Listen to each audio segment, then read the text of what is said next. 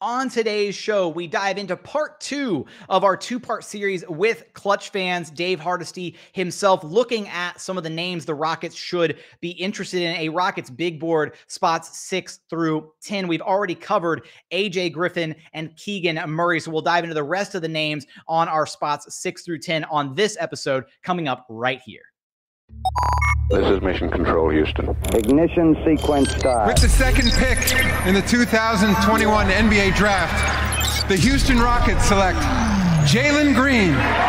T minus 15 seconds. Guidance is internal. I'm gonna keep working. I'm gonna keep getting better every day. I'm gonna keep perfecting my craft. And every time I step on that floor, I'm coming. Six, five, four, three, two, one.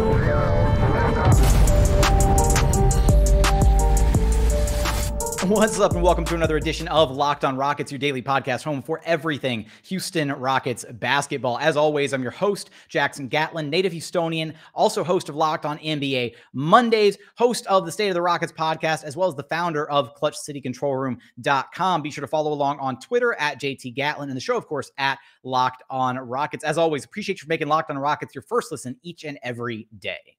And joining us for part two of our Rockets big board, spots six through 10, is of course Dave Hardisty, founder of ClutchFans.net. Now, Dave, we're continuing our conversation here, uh, you know, as we peruse the spots six through 10 that the Rockets may find themselves trading down into, trading up into. And we are now at the spot where, in a crossroads, if you will, of our respective big, big boards, where you and I have two different names here at spot number eight. So I have Bennedict Mathurin, and you have, remind me, Jalen Duren, I believe, correct? Correct. Yeah. So, and I, I'm I find it interesting that you've got Jalen Duren so high on, on, your board here, at least higher than I feel like he's because he, I feel like he's kind of dropped a little bit. But we'll keep our focus here on Bennedict Mathurin, uh, and we'll revisit Jalen Duren in this sure. upcoming segment. So let's start with Bennedict Mathurin because I, I think again similar to some of these other guys, as far as just the role player type mentality for him. I think he would slot in almost beautifully for the Houston Rockets at that three spot. And to me, the part of his game that really stood out as I've watched more and more film is his passing as like a connective tissue type piece for you know for any team that wants to pick him up. I, I feel like he has that ability where he's not just that. I hate to throw Trevor Ariza under the bus. He's going to tell me to pull up, um, but you know I feel like there's certain role players that do their job well, but that are very one dimensional, and I feel like the Rockets kind of fell into that trap throughout the tail end of the James Harden era, where they had a lot of role players who did like their three and G jobs incredibly well. You know, the the Trevor Arizas, the PJ Tuckers of the world, but were very limited, especially offensively. They weren't dynamic players by any stretch of the imagination. And I feel like Bennedict Mathurin kind of breaks that mold a little bit, where he does fit in. He can give you that three and D player mentality, uh, all those skills, but he's also, you know, a dynamic passer. He can take people off the dribble. He can finish at the rim. So he's not just he's not just painted into this little corner of oh, he can only do two one one or two things really well offensively. He's going to give you a diverse array of skills.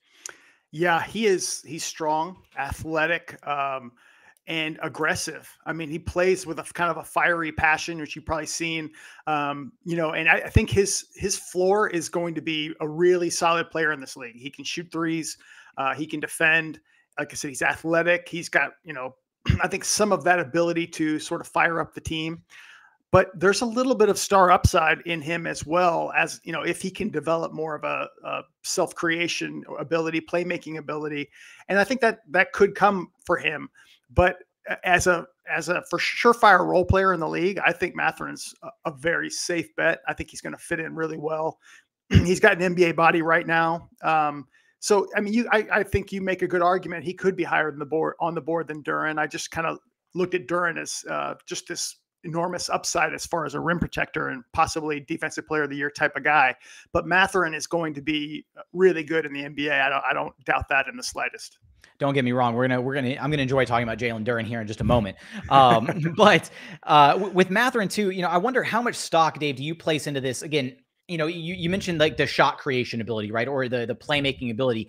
You know, I, I when you look at a player, I think there's there's two types of guys that can make passes, right? Eh, you know, when when you're playing basketball, there's like play starters and there's there's like connected pieces, like play not necessarily play finishers, but guys who can keep a play going, right? Like I don't view him as necessarily like the initiator for an offensive set, But when you have other guys who can take the the the brunt of the initiation duties, right, like a, a Kevin Porter Jr. and a Jalen Green, and those are the guys who are going to be initially breaking down a defense, you know, getting into the paint, getting the defense scrambling and, and rotating, and then you have a guy like Bennedict Mathurin who is smart enough to know how to attack off the catch and then make the next read. And I think that's the area of his game that really was kind of a bit underrated and that fans maybe haven't you know seen a ton of is when when you know Arizona was able to get the defense moving and he was able to attack off the catcher, just, you know, get into the teeth of the defense. He was really good at making that right read, getting the ball out to the next shooter or getting it to, you know, a big on the roll, those little things where he was like, as far as being a connective tissue piece.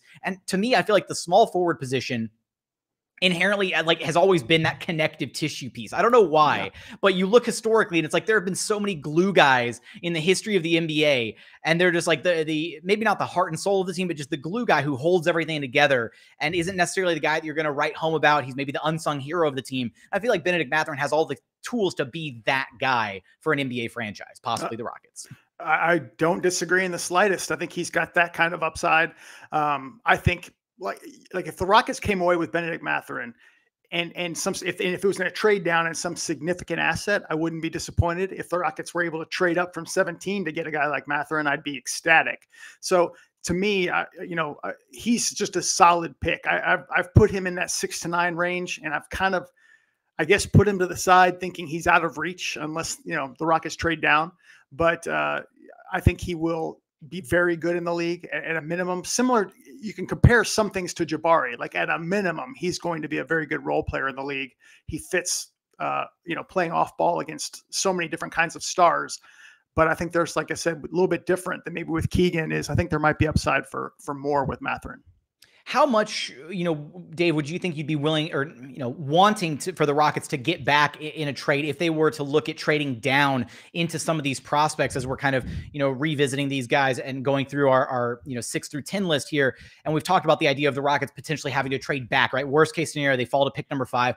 What would you be looking to get if the rockets were trading back down into like the seven or eight spot? Are we talking like another young prospect a future draft pick? Like what do you think is the is the you know the bare minimum if we're trading back for a guy like a Bennedict Mathurin at one of these lower spots? So for me, it's an unprotected pick, uh, one un, just one unprotected pick, but that's not too common. So I, I would bet it would be something that's like a, a top four protected pick.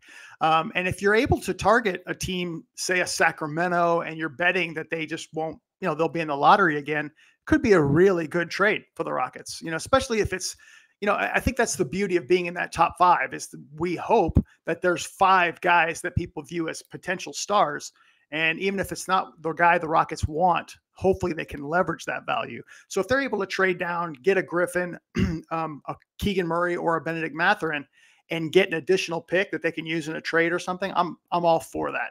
Trading up is is going to be more challenging, especially from 17. That's I would think it's going to cost I, am not sure. I'm, I'm totally speculating because it's very tough to gauge right now Christian Wood's value, Eric Gordon's value, Jae'Sean Tate's value.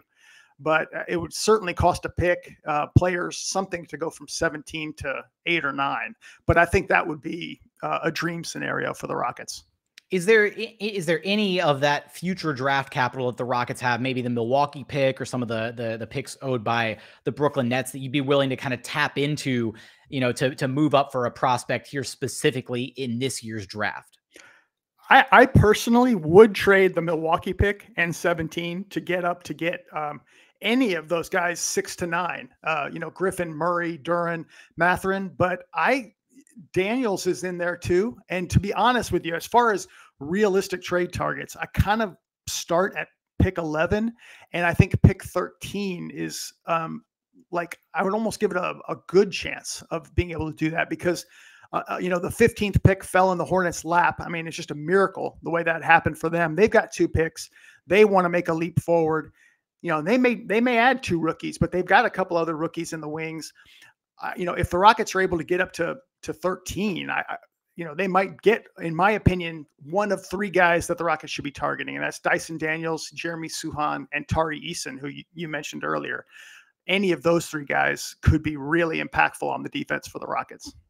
uh, a Houston Rockets Charlotte Hornets trade could be staring us in the face, uh, you know, revolving around one Christian Wood potentially as we approach the NBA draft. But coming up, we're going to talk about uh, a prospect that I'm very excited about, and so is Dave, and that's Jalen Duren. After a quick message from our friends over at Built Bar.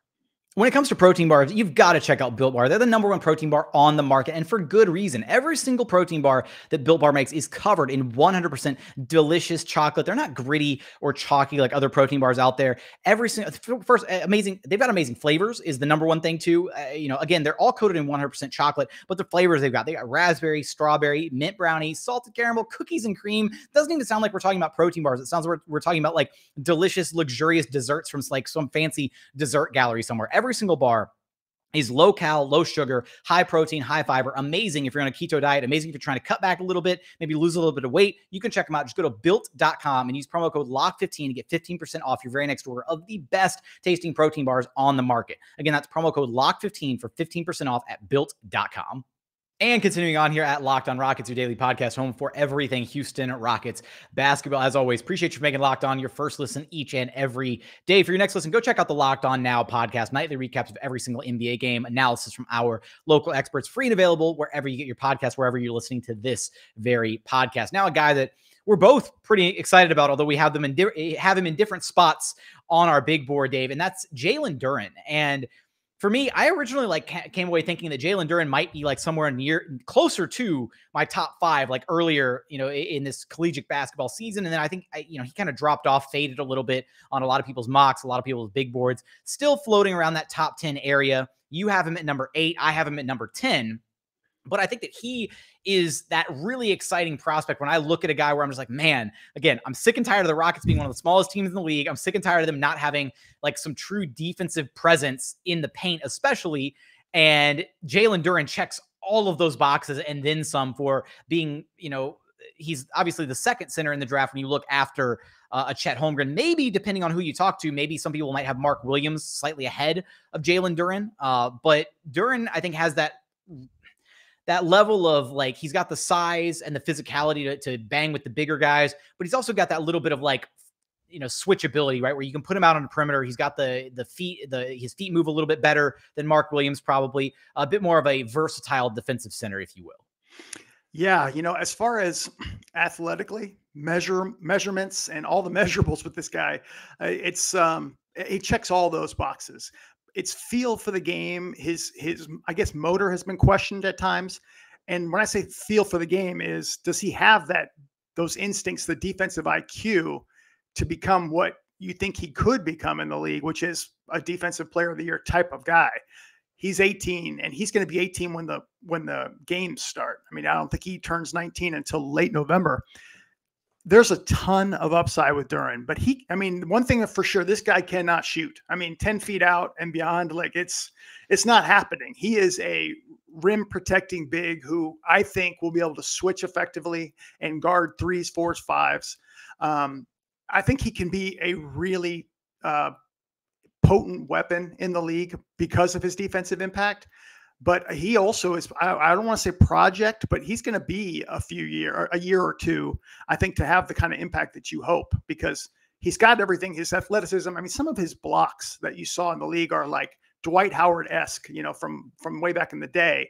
Um, so he could have that type of impact but the league is also shifting and changing in different ways so he's going to have to grow um, uh, in a lot of areas and and definitely get a better feel for the game and for the for you know defending the game um, to have the kind of impact that we we see in him. You know.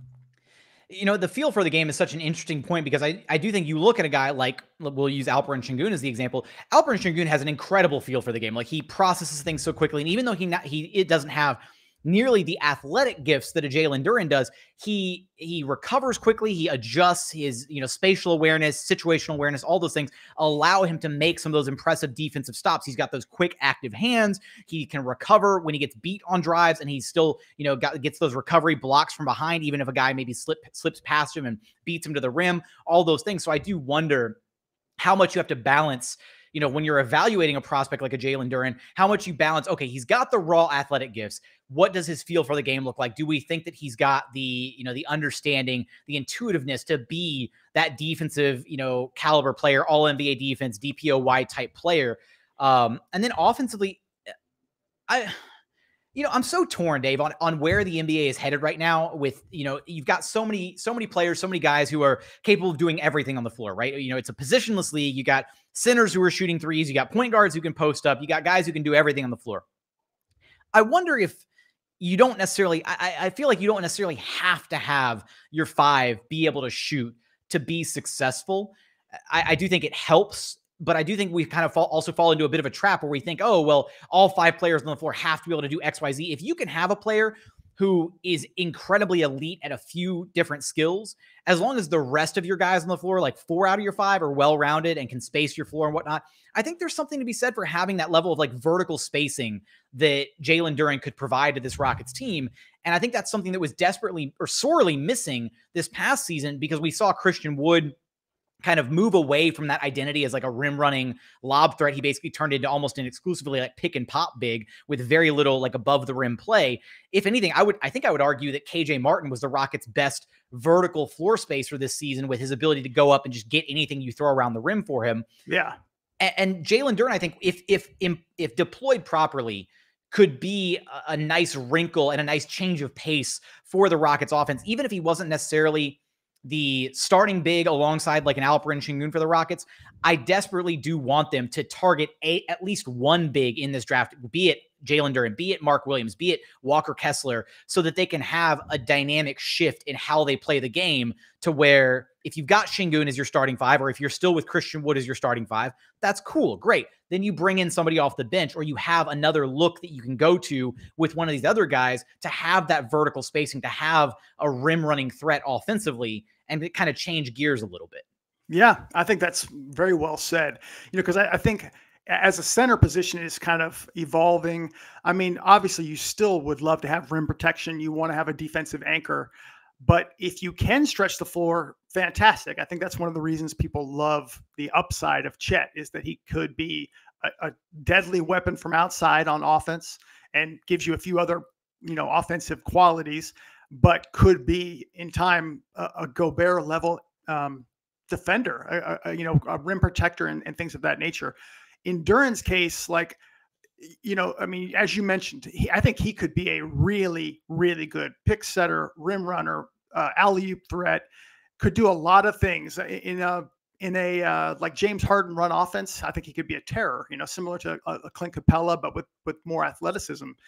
But uh, it's just he's just going to have to develop a little bit more. I think I, am not. I'm with you 100. percent I'm not stressing over his shooting ability. I think if you combined uh, Sengun, his feel for the game that you highlighted, and and you know put that with Jalen Duren's measurables, length, athleticism. I mean, you'd be talking about the number one pick of the draft. So I think there's a reason he's you know falling or he's down a little bit, but I think uh, he has the potential to be an enormous impact player in the league you know, this was kind of, and I, you know, this is going to be a nice, nice little segue. But as this is a part one and part two show, like hopefully you've already listened to part one. If you haven't, then I don't know what to tell you. But, um, you know, you mentioned earlier on the the idea that you know possibly right, like a, AJ Griffin maybe isn't necessarily thrown directly into the starting lineup over, say, a KJ Martin or a Jae'Sean Tate.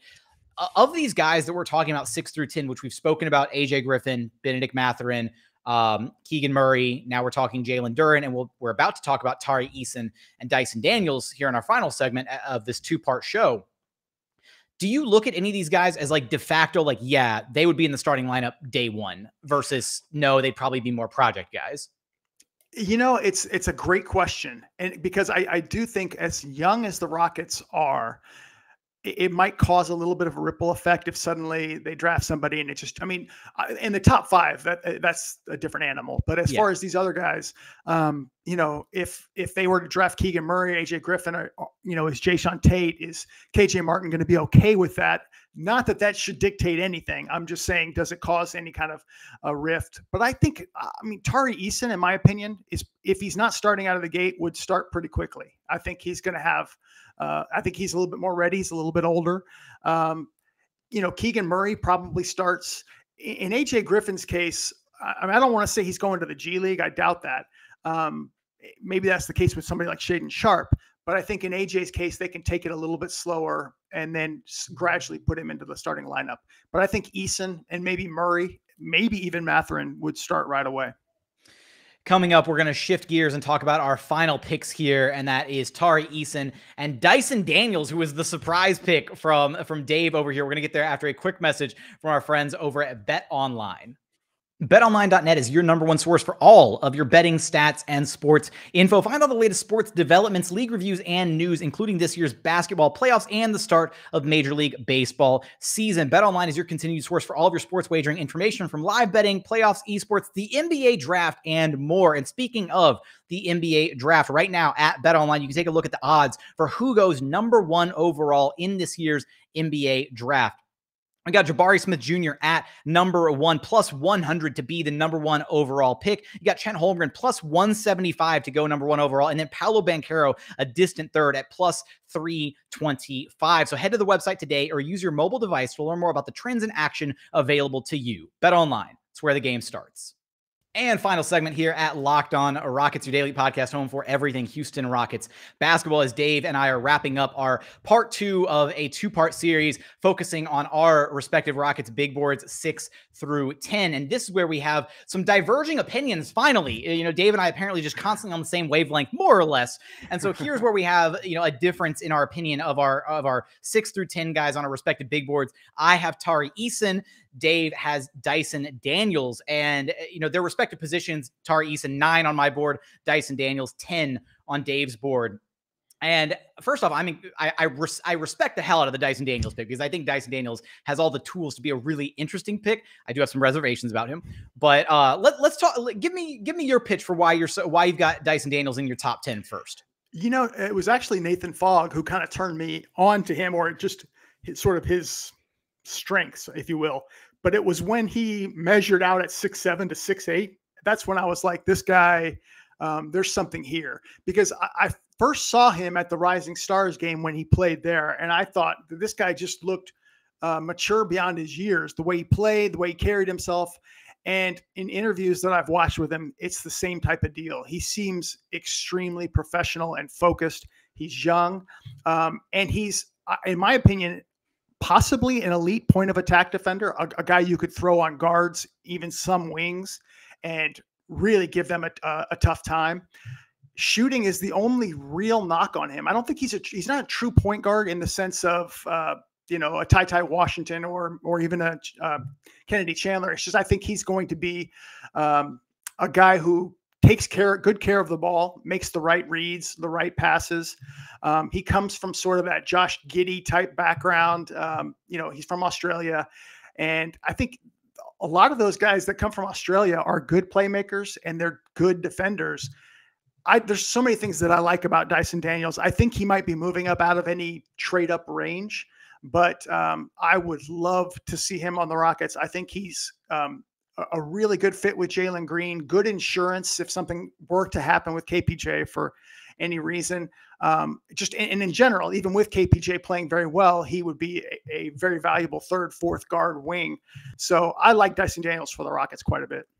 I love the flexibility too when you get towards that range of like guards who are skew a little bit bigger, where you got like, you know, six, six, six, seven, six, eight, if you will. And then you get into that territory where you look at a guy and maybe you envision a bit of like some like Matisse Thybulle there a little bit, at least defensively, where they could be a really great like de- defensive piece. Doesn't necessarily need to be the focal point offensively, and you know you can uh, you can instead of having say like two guards and three forwards, or you know two two guards, two forwards, and a true like five or whatever out there you can run a three guard set, especially if one of your guards is skewing towards a bit of the bigger side of things. I think that's where there are some, you know, some Jaden Ivey truthers out there who are like, hey, just draft Jaden Ivey and run KPJ and Jalen Green is like your two wings essentially next to Jaden Ivey. They've got the size at, you know, them both being about six six, give or take uh, you know, as far as well, give or take KPJ's hair, depending on if it's cut or not. um, right. But so that could be, you know, a dynamic there with, with Dyson Daniels. My my biggest reservation with him, Dave, is and I, I find myself so worried because you look at guys in the past who've shown like the ball handling, the passing, they've got they've got the uh, you know the the the measurables, the athleticism, all of that. And then the shot is broke or the shot is just not there. And I don't, I, I will say, I don't think Dyson Daniels' shot is broken. I just think the numbers are not there. And I think there's a distinct difference between broken shot and just numbers not being there yet. He's got a solid form, he's got a good foundation with which to build on. the biggest question is can he ever get to that point? But I I can't help but get like Michael Carter Williams like PTSD of like a guy who has all the measurables, can play make a little bit, can do a little bit of everything, solid defender, you know, all of that, but then just doesn't have the shooting stroke to go along with it to really complete the whole package, which is why he's not like a consensus top five guy. If he could shoot, he'd be a consensus top five guy. Yes. Um, you know, and that's usually a killer for me. For example, I wanted Josh Giddey to go ahead of the Rockets in their later picks. Obviously, he went much higher than I expected. Um, but I was not a fan of Giddey's because he had sort of this elite playmaking ability, but he couldn't shoot. wasn't necessarily a strong defender or anything. I think in in Dyson Daniels' case, for me, he is a strong defender. He's and he's not as good of a playmaker as Giddey, that's for sure. I mean, as far as a facilitator and passer, but he will make the right reads. He will make the right passes. Um, and I think the concern with the shot is usually something that kills it for me every single time. But when I watch him, he, it looks good, and I think he got better as the year went on. It wasn't, still wasn't great. I think it was like 25 plus percent on the year uh, in the G League, but I think it was in the low 30s in the in the final stretches. I, I think it's something that should get better with a guy like him. And I hate to say that because I have dismissed some players, but as young as uh, because of the shot, but as young as he is, with the good form, his work ethic, and and the way he goes about things. I mean, it's just like a Malcolm Brogdon type of quality about him, where he's just not going to back down from anything. It just seems like a guy who's who's uh, I, I, I just said mature beyond his years. Like he's, I think he's going to be a very good professional and a solid leader type of player. Yeah, there's some guy. We're, we're gonna we're gonna throw out the uh, buzzword here, the Cade Cunningham special, uh, the maturity, right? Like he's a, yeah. he's a very mature player, um, and, and, you know what? The Rockets could clearly use some maturity on their team, as per you know. I'm sure Bill Simmons doesn't think the Rockets are a very mature team, but we don't want to entertain any more Bill Simmons talk on this podcast. We I already allocated my my quota of like one episode a year having to talk about Bill Simmons, so we're not going to do that anymore here. Um, but you know, kind of the inverse of that, right? Is you've got Dyson Daniels, a younger guy. He's going to be just over 19 at the time of the draft. Lot of room to grow and improve. And the flip side of that is a guy like Tari Eason, who is a bit a bit older, a bit more established. He'll be a little over 21 at the time of the draft. You know, probably more so a bit, you know, more of the player that he's going to be at the NBA level is already kind of showing rather than just this idea of, oh, he's got this crazy sky high potential and he could be this or he could be that. I think Tari Eason is kind of showing what he could be, which is a really explosive, dynamic offensive force. I get some like I get some like Marcus Morris vibes out of his game a little bit. Um, eh, you know, I think if you're if you're looking for a comparison as just kind of stylistically how these two guys kind of approach the game offensively, I think Marcus Morris is a good kind of you know fit where you look at just the way that Marcus Morris can get almost any shot he wants offensively. You know, be it from the three point line, creating for himself. You know, eh, maybe Tari's probably a bit more explosive than Mark Marcus Morris was or is, I should say. Um, but I think that's kind of the selling point there is you get a really dynamic, you know, big who can create for himself uh, and and hopefully kind of leverage that creation ability for his teammates. I don't know if his passing ability is quite where you would want to see it, right? I, I think that's one of the biggest things on him is he could be a little bit tunnel visioned at times on that LSU team, but I, think at the NBA level, you know, if he's able to cre- continue creating a shot and, and getting, you know, to the bucket, getting, you know, getting opportunities offensively, that's kind of the next step in anybody's game is then turning that into opportunities for their teammate, which I think he'll be able to do. It's projecting, but I think he could he has the skill set to do it. Yeah, you know, I'm a little concerned that uh, that the success of of Herb Jones and Herb Jones is in all caps, but that his his impact with the uh, you know in the playoffs and the play in that we saw and his defensive ability is going to raise the stock of Tari. Uh, and I, I, don't think Tari's quite as good defensively. He's very good defensive player, or, or, has you know could be very good defensive player. But I think he's better offensively. You, you nailed a lot of reasons why I think he could have a tremendous impact on the Rockets. Just sort of you know hair on fire type of player offensively, attack the basket. Um, he gets to the free throw line a lot, which a lot of teams just love that trait about uh, any player who's just you know physical, attack, attacks the basket, aggressive. I think there's hope if any of these guys that fall. I mean, like I said, I mentioned Daniel, Sochan, and, and Eason. I'm hopeful that Eason does slip through the cracks. I'm, there's there's some high upside guys in this draft: Ty Ty Washington, Jaden Hardy, Ousmane Dieng um, Johnny Davis that we're hoping go ahead of the Rockets at 17. And I'm just hoping one of those three slips through the cracks. And if I was to bet anything, if I was to bet on any one of the three, it would be Tari that might slip down to 17. And that would be, in my opinion, a steal for the Rockets at that spot.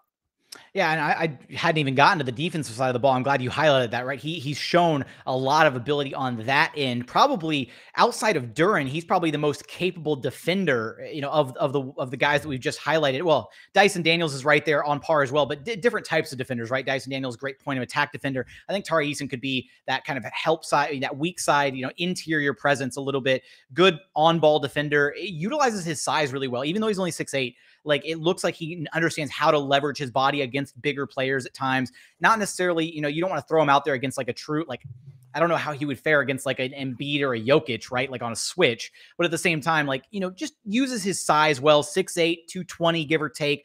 Um, good, strong body. He's not going to struggle at the NBA level by any stretch of the imagination. Like he's going to come in with an NBA ready body, ready to bang with some of the other big boys uh, at the next level. But when you look at these guys that we've kind of listed off here, Dave, uh, you know, six through 10 range uh, for each of us, eh, you know, which, which of those guys, uh, again, just to recap very quickly here at the end of our, our two part series, AJ Griffin, Keegan Murray, uh, Tari Eason, Jalen Duren, and Bennedict Mathurin and Dyson Daniels. So six targets within these five spots because you and I differ just ever so slightly. Which of those guys do you think has the highest ceiling uh, of this bunch of guys? Wow, that's a good question. Um, I, you know, it's it's crazy, but I really uh, it's uh, like my instant look at that is Griffin or Duren, even though I I think Mathurin has potential to be a star.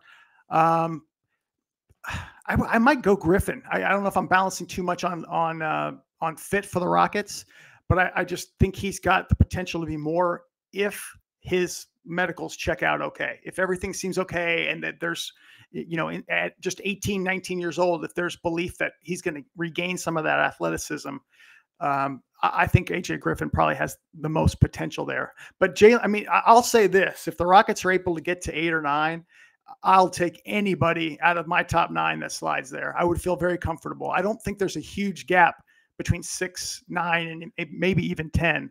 Um, so that's, in my opinion, a good value spot if you can to get at the bottom of a tier. We've dropped the numbers six and nine too frequently on this part two part series Ben's without dropping. Crazy, I'm sure. Without yeah. dropping in a quick, nice reference. I know Ben's just over there like, say it, say the joke. Like, no. Um, but yeah, no, I, I, I probably am inclined to agree with you on the AJ Griffin spot, which is why I think he has cemented himself again. You know, barring the medicals, any any setbacks there. Um, you know, which is why he's kind of cemented himself at that six spot for me outside of those top five. And I do think that's that's one of those, you know, not again, not an area of concern, but one of those limiting factors when you look at a guy like Keegan Murray or a guy like Tari Eason, just the age being there, they're probably more so already what they are going to be at the NBA level. There's not like this, you know, understanding that they have another gigantic leap that they can take. Yeah, they're probably going to get better than they currently are, but when you look at some of those uh, those younger guys 18 19 years old there's a bit more of an ex- expectation that they'll be able to take another couple steps in their game as opposed to just being a finalized product more or less uh, uh, uh when they're when they're being drafted. Exactly exactly i think that's you know that's why a lot of older guys as well get uh, passed on. I mean 18 19 year old guys are are always in demand and i think you know herb jones was older you know uh, chris duarte was older uh, Ochai Agbaji, if I'm not mistaken, is a little bit older. So it's interesting to see the balance of of uh, some of those different age and, groups. And, and those older guys are able to, you know, make a bit more of an immediate impact with some of their teams, right? Like again, we're seeing it with Herb Jones. We saw it with, you know, Chris Duarte a little bit, just the way that he was able to jump out and the reason he was, you know, leading the pack of the rookie of the year race earlier this season before kind of falling off and before Indiana Pacers hit kind of a tailspin and just, you know, finished out as one of the worst teams in the association. The reason he looked so good early on is he was polished. He was right. He was, you know, he is kind of who he's going to be as an NBA player already. So coming in, you've got that, you know, it, there's less speed bumps along the way, right? The speed bumps are, more they're they're more of those nice like when you when you have an established rookie like one of those older guys the speed bumps are like those nice like smooth mellow speed bumps like you're going through a school zone and you just lightly tap them whereas like some of these other rookies you've got those speed bumps that are just like those monstrosities where you hit them and you feel like your car get like a foot of air because yeah. you you've got some serious you know learning learning curves and some growing pains along the way so things that you just don't experience with those older guys. You know, and it's funny you mentioned that because like in the in the mid '90s, for example, when high schoolers were able to kind of come back, KG slid to like five, if I'm not mistaken. Kobe Bryant was down to 12 or 13, whatever it was. And these guys were such big hits that suddenly it was like, man, we need to take the high schoolers. And then, you know, there were Jonathan Benders and, and different guys that you, you know, people haven't even heard of that came out and they're getting drafted really high, but they just weren't, um, you know, they just weren't, uh, didn't have the, enough upside as those other guys. That's the hard part with Shaedon Sharpe. Is Shaedon Sharpe is a, a really high prospect, and some of these other guys as well that are 18. But at least you got one year to look at them in college. Shaedon Sharpe's case, you don't have any, and you know anything really to look at. And you're comparing this to guys who a year ago were also top in their class, top five picks, and have fallen after playing a year of college. You know, uh, Jaden Hardy, Patrick Baldwin Jr., those kind of, kind of players.